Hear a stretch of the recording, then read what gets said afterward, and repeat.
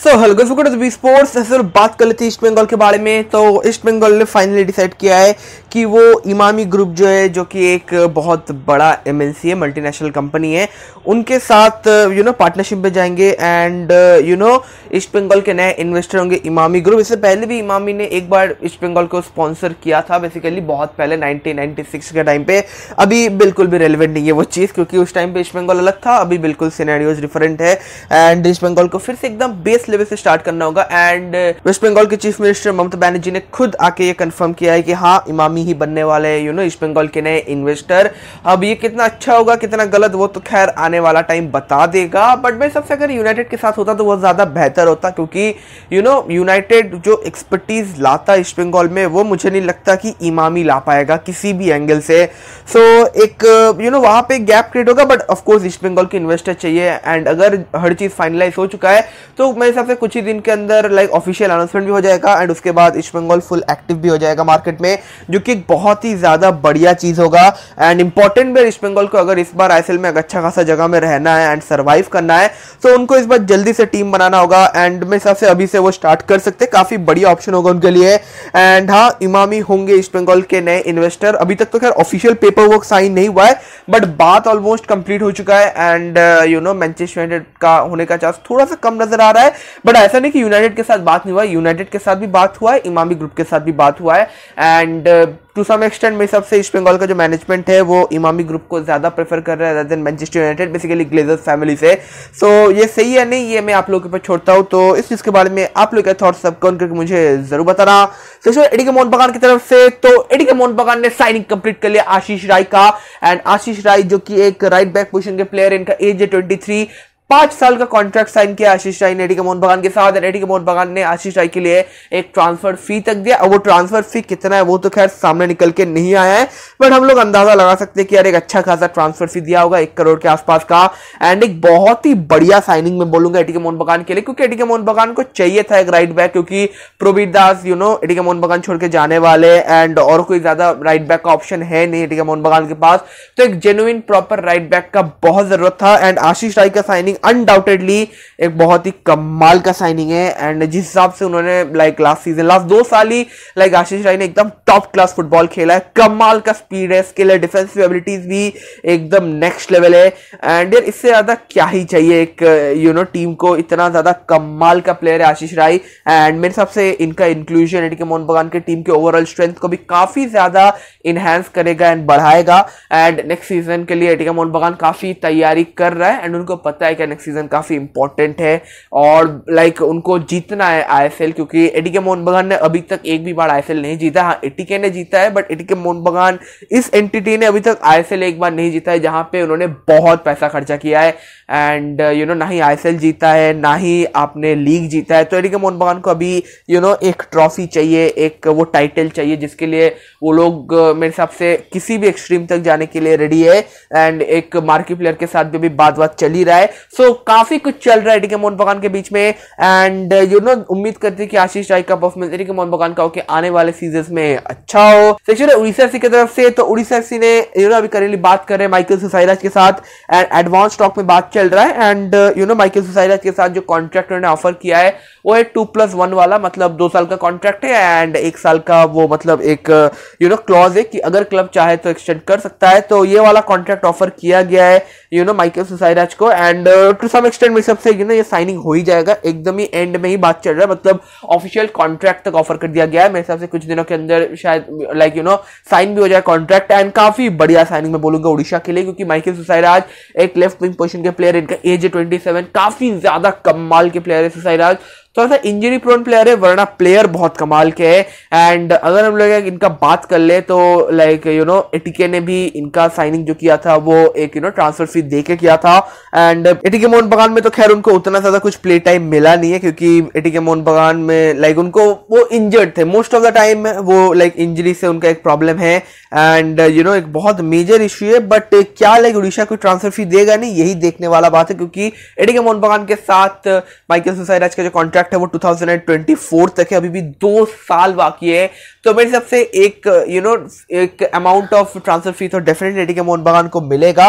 या फिर ये भी हो सकता है कि एडी के मोहन बगान अभी सुसैराज को छोड़ना चाहते हैं, क्योंकि जो भी हो, उस टाइम पे सुसैराज का जो साइनिंग किया था एडी के मोहन बगान ने, काफ़ी अच्छा खासा सैलरी ऑफ़र किया था, क्योंकि उस टाइम पे नहीं, अभी भी सुसैराज बहुत टैलेंटेड प्लेयर है। बस वही इंजरी का ही एक प्रॉब्लम है, वरना ओवरऑल बहुत ही ज़्यादा नेक्स्ट लेवल प्लेयर है, बहुत ही एक you know attacking minded player है एंड अटैक में बहुत मदद कर सकते हैं।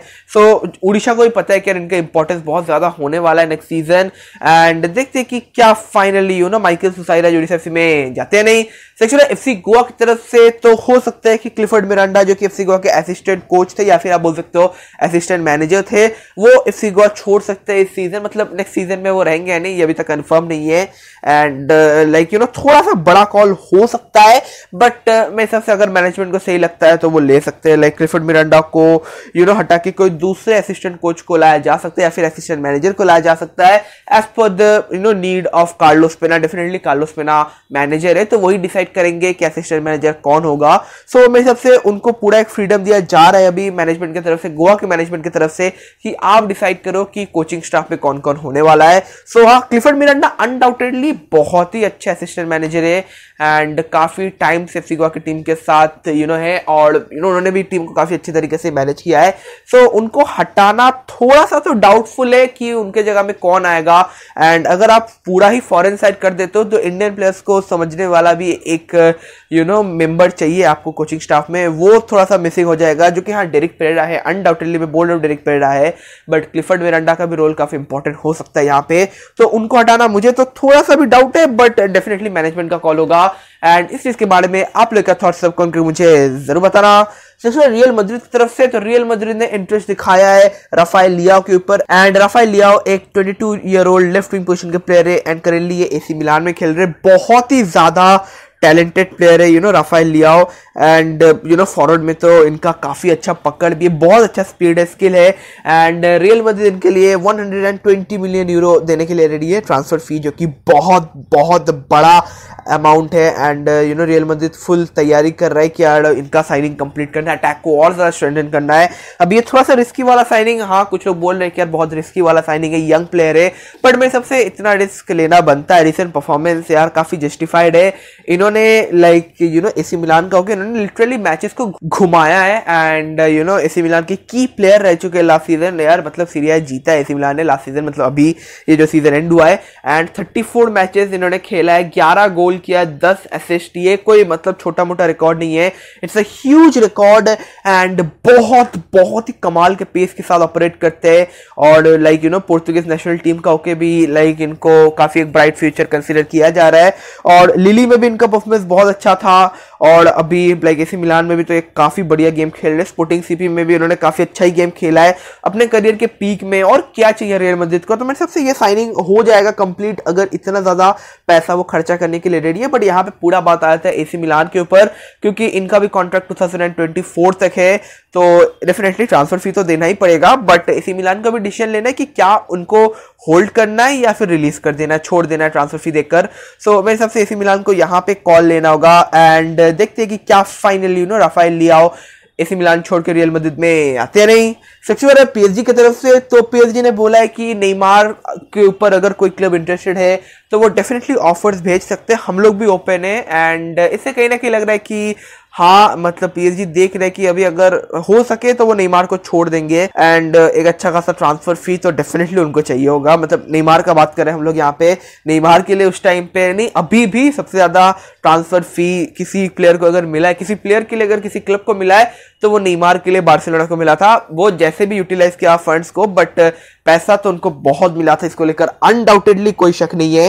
एंड यू नो नेमार एक टॉप क्लास प्लेयर है मतलब one of the best players in the current generation हम लोग कंसिडर करते हैं उनको।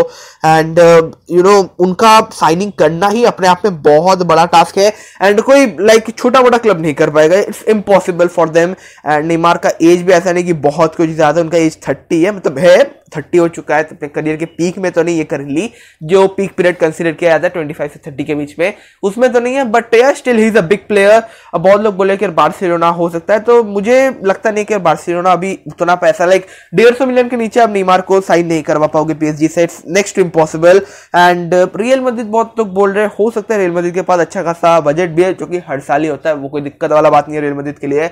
बट आप पीएसजी ने ओपिनिया के बोला है कि वो अगेंस्ट नहीं है नेमार को बेचने के। एंड अगर हो सके तो वो डेफिनेटली नेमार को सेल कर देंगे कोई दिक्कत नहीं है उनको।